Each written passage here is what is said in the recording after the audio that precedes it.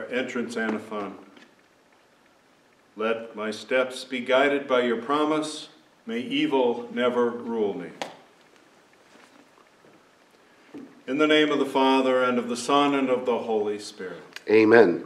The grace of our Lord Jesus Christ, and the love of God, and the communion of the Holy Spirit be with you all. And with your spirit. Good morning, my brothers and sisters who are joining us uh, via the internet, either live or recorded. Uh, once again, we come to you from St. John's Chapel of Divine Mercy Parish here in Burlington, Iowa, uh, offering you the sacrifice of the Mass.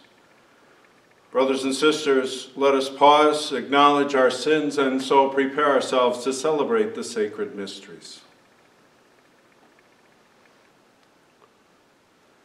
Have mercy on us, O Lord. For we have sinned against you. Show us, O Lord, your mercy. And grant us your salvation. May Almighty God have mercy on us, forgive us our sins, and bring us to everlasting life. Amen. Let us pray.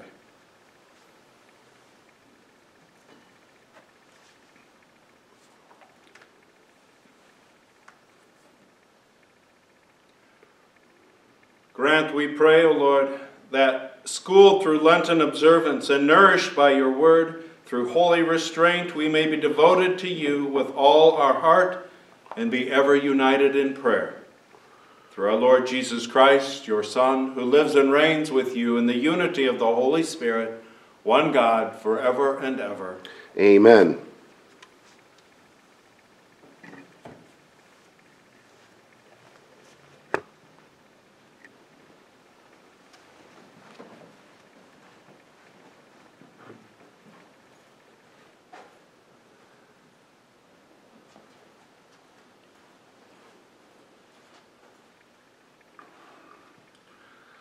A reading from the book of Deuteronomy. Moses spoke to the people and said, Now, Israel, hear the statutes and decrees which I am teaching you to observe, that you may live and may enter in and take possession of the land which the Lord, the God of your fathers, is giving you. Therefore, I teach you the statutes and decrees, as the Lord my God has commanded me, that you may observe them in the land you are entering to occupy. Observe them carefully, for thus will you give evidence of your wisdom and intelligence to the nations, who will hear of all these statutes and say, This great nation is truly a wise and intelligent people. For what great nation is there that has God so close to it as the Lord our God is to us whenever we call upon him? Or what great nation has statutes and decrees that are as just as this whole law which I am setting before you today? However, take care and be earnestly on your guard, not to forget the things which your own eyes have seen, nor let them slip from the memory as, as long as you live. But teach them to your children and to your children's children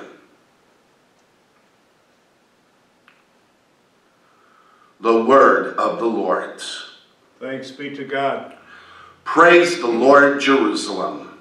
Praise the Lord, Jerusalem. Glorify the Lord, O Jerusalem. Praise your God, O Zion, for he has strengthened the bars of your gates. He has blessed your children within you. Praise the Lord, Jerusalem. He sends forth his command to the earth. Swiftly runs his word. He spreads snow like wool. Frost he strews like ashes.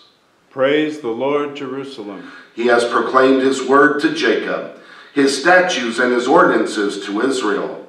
He has not done thus for any other nation. His ordinances he has not made known to them. Praise the Lord, Jerusalem.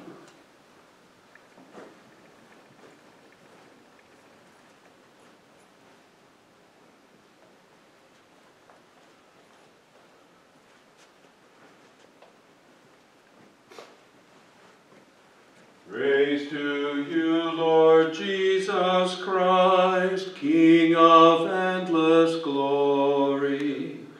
Praise to you, Lord Jesus Christ, King of endless glory. The Lord be with you. and with your spirit. A reading from the Holy Gospel according to Matthew. Glory to you, O Lord.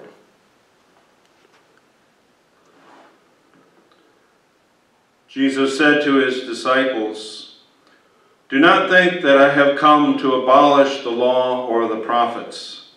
I have come not to abolish, but to fulfill. Amen, I say to you, until heaven and earth pass away, not the smallest letter or the smallest part of a letter will pass from the law until all things have taken place. Therefore, whoever breaks one of the least of these commandments and teaches others to do so will be called least in the kingdom of heaven. But whoever obeys and teaches these commandments will be called greatest in the kingdom of heaven. The Gospel of the Lord. Praise to you, Lord Jesus Christ.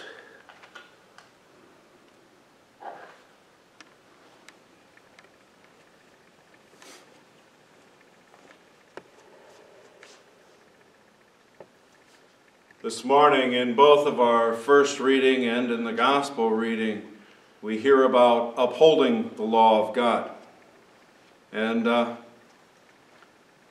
Americans, especially with their independence, uh, they, they seem to have this rebellious nature against anything that tells us what we must do or what we should do.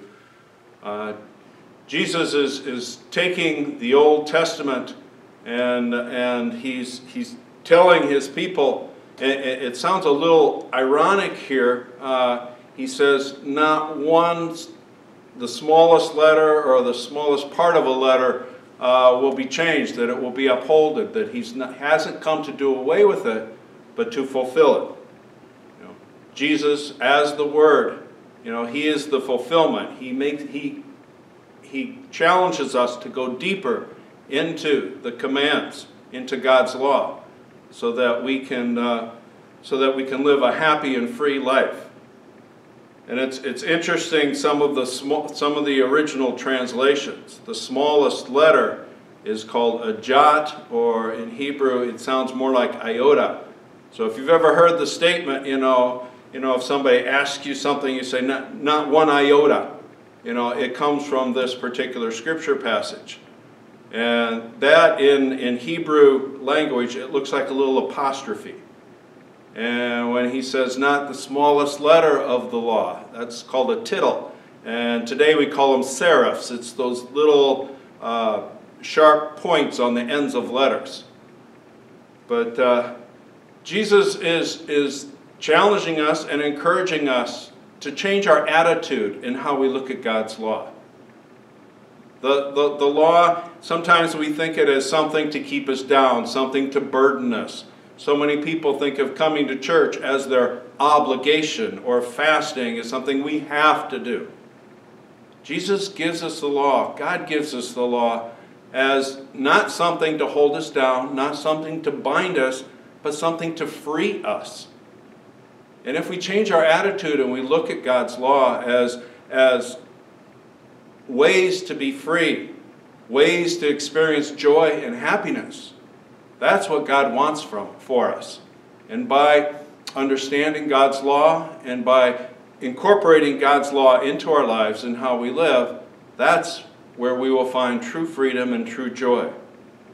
Just like it says in our, in our first reading from Deuteronomy, it says, uh, that people, if, if we live this way according to God's law, he says that people will look at us and say, this great nation is truly a wise and intelligent people. Let us today and always, you know, especially during Lent, let us examine our own attitudes toward God's law and let us ask that we can embrace it uh, to truly experience the joy and the freedom that God has for us. Amen.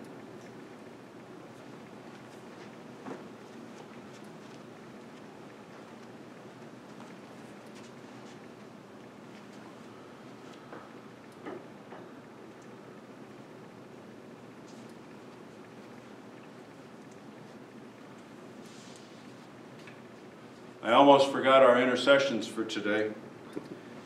As Jesus shows us how important it is to teach others the truth of his law, we come to the Father asking for intercession, and our response is hear our prayer. For compassion and comfort for those afflicted with the coronavirus, whether it be physical, emotional, or financial, Lord, in your mercy, Hear our prayer. that we may take this time of social isolation to draw closer to Christ and grow in appreciation for the church, especially the Eucharist. Lord, in your mercy. Hear our prayer. May bishops, priests, deacons, teachers, parents, and catechists teach the law of love and mercy to others by word and example.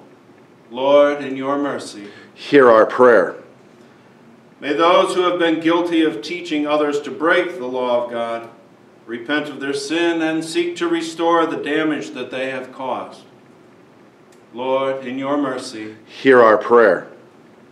may each of us, relying on the strength of the Holy Spirit, find joy and freedom in God's law to live as his children all the days of our lives. Lord, in your mercy. Hear our prayer. For the souls of the faithful departed, especially Clarence E. Mummy and the poor souls in purgatory, for whom this Mass is being offered, Lord, in your mercy. Hear our prayer. Heavenly Father, bless our children with your laws and decrees so that they can walk in truth now and always. Through Christ our Lord. Amen.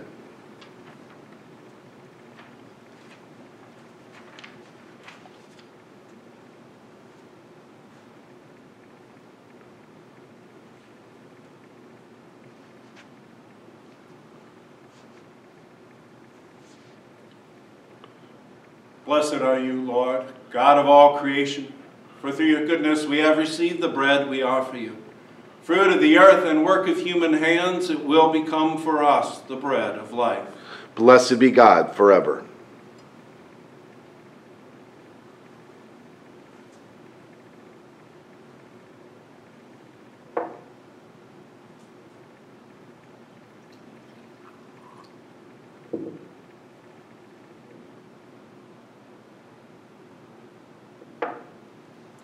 By the mystery of this water and wine, we come to share in the divinity of Christ, who humbled himself to share in our humanity.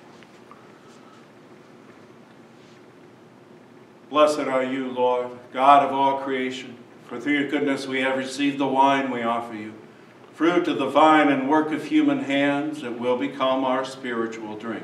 Blessed be God forever.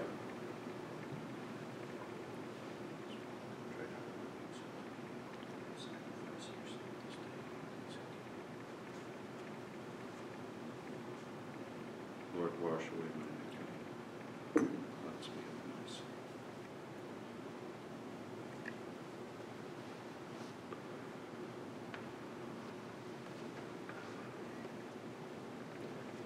Pray, brothers and sisters, that my sacrifice and yours may be acceptable to God the Almighty Father. May the Lord accept the sacrifice at your hands for the praise and glory of his name, for our good and the good of all his holy church.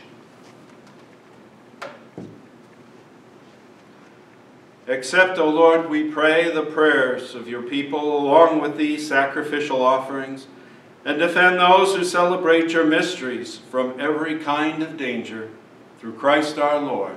Amen. The Lord be with you. And with your spirits, Lift up your hearts. we lift them up to the Lord. Let us give thanks to the Lord our God. It is right and just. It is truly right and just, our duty and our salvation always and everywhere to give you thanks, Lord, Holy Father, Almighty and eternal God. For you have given your children a sacred time for the renewing and purifying of their hearts, that, freed from disordered affections, they may so deal with the things of this passing world as to hold rather to the things that eternally endure. And so, with all the angels and saints, we praise you, as without end we acclaim Holy, holy, holy Lord, God of hosts, heaven and earth are full of your glory. Hosanna in the highest. Blessed is he who comes in the name of the Lord. Hosanna in the highest.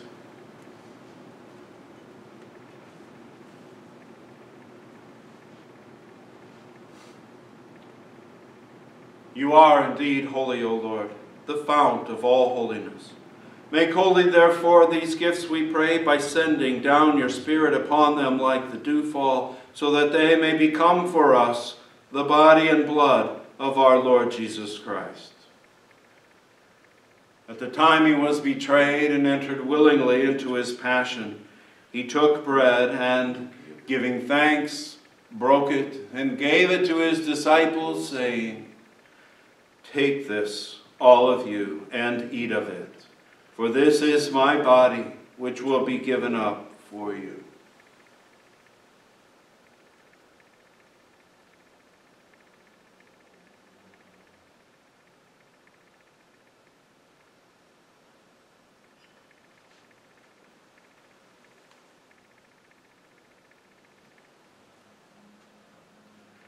In a similar way, when supper was ended, he took the chalice, and once more giving thanks, he gave it to his disciples, saying, Take this, all of you, and drink from it, for this is the chalice of my blood, the blood of the new and eternal covenant, which will be poured out for you and for many for the forgiveness of sins. Do this in memory of me.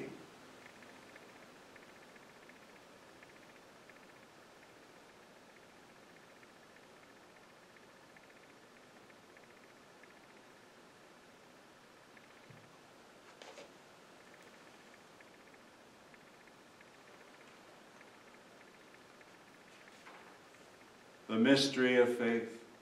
Save us, Savior of the world, for by your cross and resurrection you have set us free. Therefore, as we celebrate the memorial of his death and resurrection, we offer you, Lord, the bread of life and the chalice of salvation, giving thanks that you have held us worthy to be in your presence and minister to you. Humbly we pray that, partaking of the body and blood of Christ, we may be gathered into one by the Holy Spirit.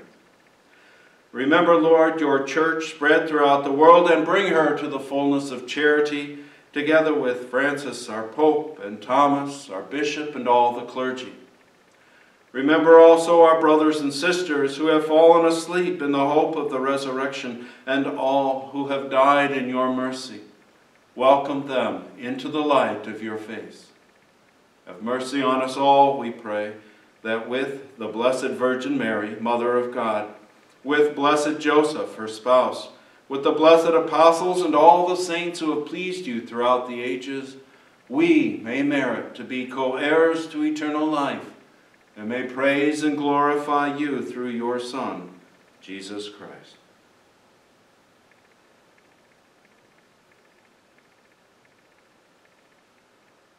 Through him, with him, in him. O God, Almighty Father, in the unity of the Holy Spirit, all glory and honor is yours, forever and ever. Amen.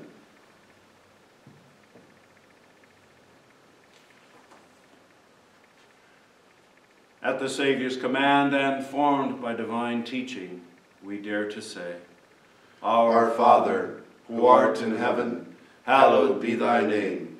Thy kingdom come, thy will be done, on earth as it is in heaven. Give us this day our daily bread, and forgive us our trespasses, as we forgive those who trespass against us.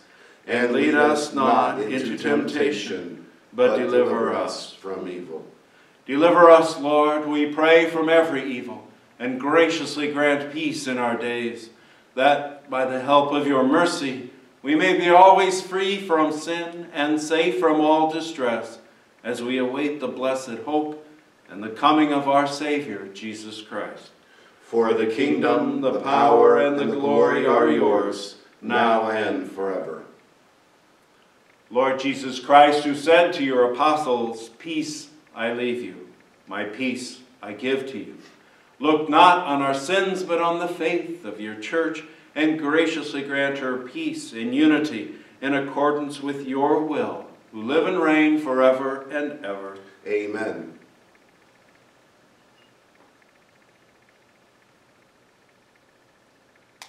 Lamb of God, You take away the sins of the world. Have mercy on us. Lamb of God, you take away the sins of the world. Have mercy on us. Lamb of God, you take away the sins of the world. Grant us peace.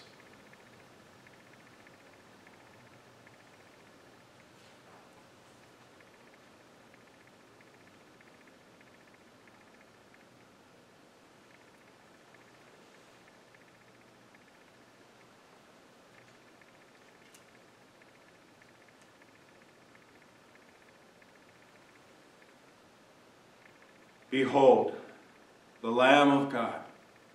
Behold him who takes away the sins of the world. Blessed are those who are called to the supper of the Lamb. Lord, I am not worthy that you should enter under my roof, but only say the word, and my soul shall be healed.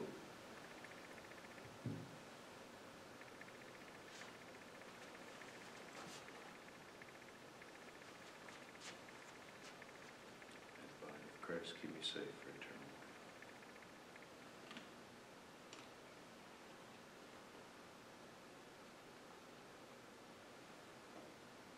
Blood of Christ, keep me safe for eternal life.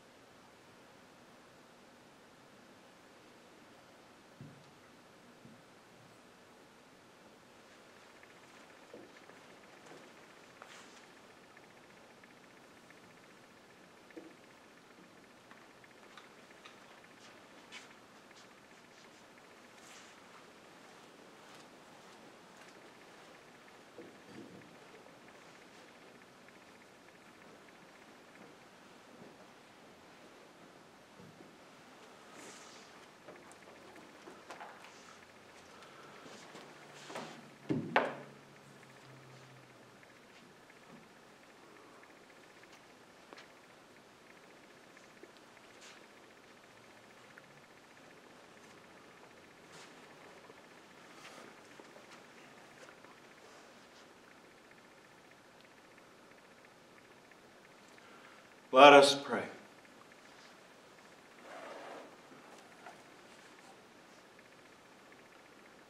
May the heavenly banquet at which we have been fed sanctify us, O Lord, and cleansing us of all errors, make us worthy of your promises from on high.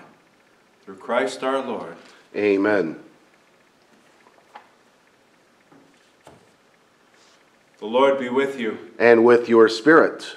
May Almighty God bless you, the Father, and the Son, and the Holy Spirit. Amen. Go in peace, glorifying the Lord with your life. Thanks be to God.